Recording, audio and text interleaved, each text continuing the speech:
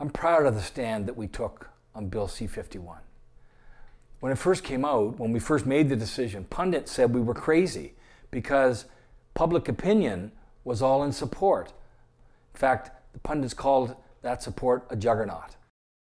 Instead of rushing to judgment, we took our time to analyze the bill and to consult with experts. When it was clear that C51 was going to be a threat to our fundamental rights as Canadians, we had to do what was right. We had to stand up, make it clear why we were against it, and why it was something that Canadians had to fight against.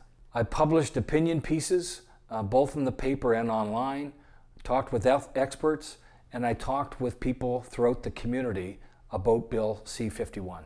In March, I held a town hall at the Micmac Aquatic Club uh, so that people could come together, hear from some ex experts, and talk about what was in this bill and why it was a problem.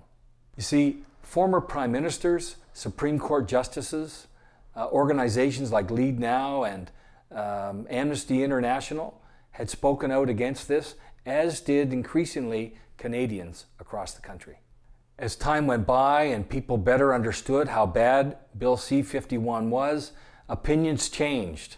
Uh, and it was the conservatives and the liberals who were offside, and people were agreeing increasingly with the NDP. When it came to the final vote, it was the NDP and the Greens who opposed it. It was the Liberals and Conservatives who voted in favor.